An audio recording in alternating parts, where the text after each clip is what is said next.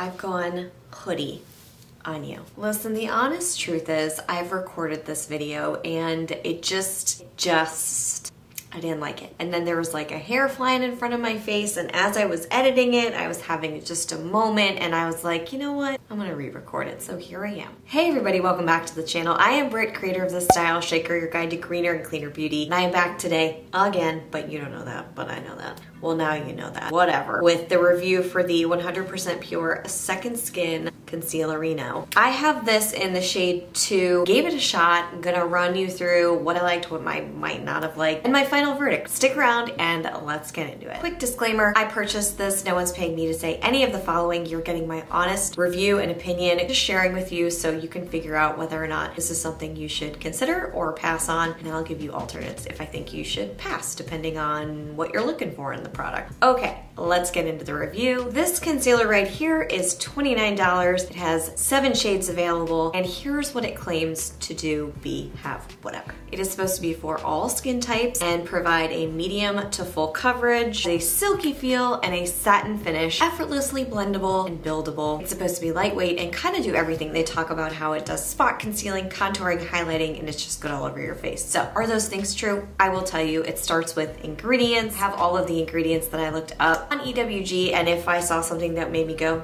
Hmm. And I looked up elsewhere because the EWG is not the end all be all. Sometimes it can just be a little too intense, so I like to, you know, kind of dig in further. But anyway, I found Japanese honeysuckle. That was the main sort of, mm, mm, gets a bad rap. It mimics uh, parabens, things like that. I'm not gonna dive into all the details there. I will put it below and I'll give you some links so you can explore further. It's about what you feel comfortable with. I'm not saying that you have to do 100% green and clean. That's not the basis of the channel. That's not what I believe in. I just think, you know, fewer, better, smarter choices for whatever you're putting on your skin, on your face, and on your body. There you go, my spiel. Overall for ingredients, I think it looked really solid. That's all I have to say about that coverage. So does the coverage live up to its promises? This was kind of interesting to me because I would say it's more of a medium than a full coverage. I will talk about building in a second, but off the bat, it felt more of a medium coverage. It did slide on. I did feel like it was silky. It wasn't the silkiest texture I have felt. Some of them just tend to be way more silky. Some of the reasons for that are the addition of dimethicone, which my skin doesn't like. This doesn't have dimethicone in it, but anyway, I wanted to let you know that it feels silkier than some other ones that feel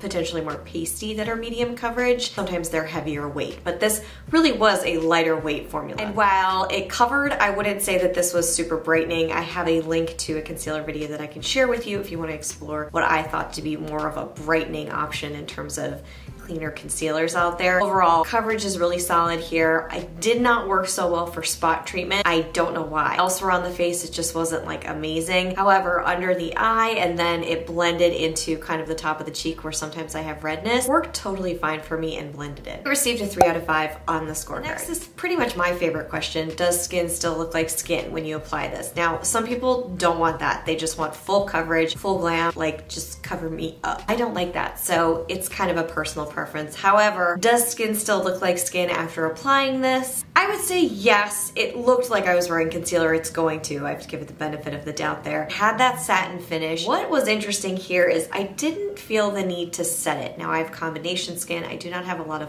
oil under the lid or on top of the lid. However, if you do and you're looking for something and you use it in conjunction with a primer or setting, then this was really interesting for me. I could have gone without setting it. And as a matter of fact, I have done that a couple of times when I was wearing this and testing it. And that's kind of a big deal because that I, I don't really think I ever say that. So that was a selling point here. However, when I put it on, in case I, like say I wanted to build a little bit, I would press it in with my finger. The brush didn't really, that wasn't the best option for me. But when I press it in with my finger, there were instances where if I had anything else on, it would sit a little bit on top. So a wet sponge or a damp sponge really helped with it, but you kind of had to zhuzh and do a few things. It just wasn't as simple and sleek and like melting into the skin as I normally like. Overall, I would say for a natural looking coverage, it received a four out of five. Is this an irritating formula? No, I don't have anything else to say besides that. I also don't see a lot of ingredients in here that would normally irritate sensitive skin. Take a look just because different things can be harmful to different skin types, but overall got a five out of five on the score. Okay, so blending and building. Blending, check. It did its thing, it blended well except for spot treatment, but under the eye, on the lid, limited prime, good job. Building is where I really just didn't see a lot of oomph. That's why I said it sits at a medium coverage. For me, building to full wasn't necessarily working. That satin finish translates in my mind every time I use something that says it has a satin finish. It looks a little bit more matte on the skin, which again, for oily skin types could be a benefit, but for me, it was fine. It just didn't, I couldn't build on top of it as well as I would like to because it just started looking not so great. So it received a three out of five on the scorecard. Shade range, seven shades. Not mad at it. It's not like the greatest thing in the world, but I think it's a decent amount, so it received a three out of five on scorecard there. And then the final question, is this a consciously created product? Plastic, plastic, that side of things, which I hate saying this, but per the norm is not really where it needs to be. Um, I need to look into whether this is recyclable or not, but how easily recyclable is it? Sometimes these things have multiple components and the consumer's not gonna be like,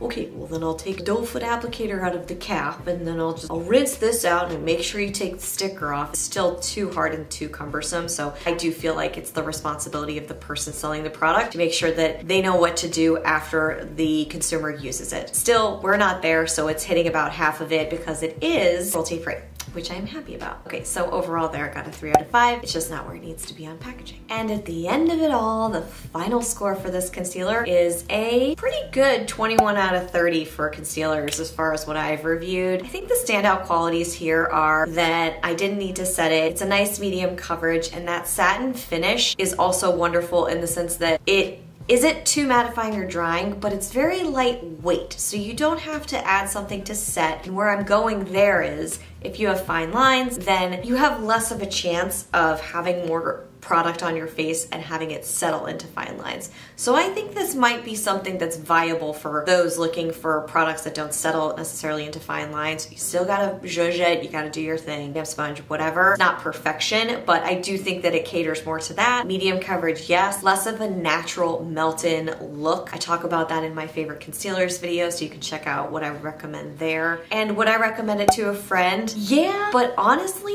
I've had this for a couple weeks and I haven't kept reaching for it. What I have reached for is the Ilia Serum True Skin Serum Concealer. I've reached for my Hint Duet Perfecting Concealer. But in terms of doe foot applicator concealers, I've been reaching for the Ilia. It just glides on and it gives me a little bit more brightening. Now, a part of that is not because of this formula. I want to be really, really clear. It is because of the shade that I got. I think that's why, like, I don't know, I don't like catch myself when I'm in the middle of doing it. But if this was a tad lighter, okay, but if it goes too light, it doesn't work. So 100% pure, I've had trouble shade matching on. It's the one brand where I just kind of like go off kilter. I don't know. It's like I black out. Like, what am I doing? I'm not shade matching correct. But anyway, I just wanted to be as honest and upfront as possible there. I would recommend it. It's just not my favorite concealer right now, doe foot applicator. It still performed really well. And I think for the people looking for what I mentioned, this could be a very solid contender for you. There you go. That's all I have for this review. Hope you found it helpful. If you've tried this and it's worked for you, let us know. If it hasn't, let us know. And if you have any application tips, keep us posted and share your skin type um, because that always helps give context. That's the review for today. I hope you guys have a wonderful rest of your day. If you enjoyed the video, give it a thumbs up to support the channel. Don't forget to subscribe and I will see you right back here testing out something else real soon. Until then,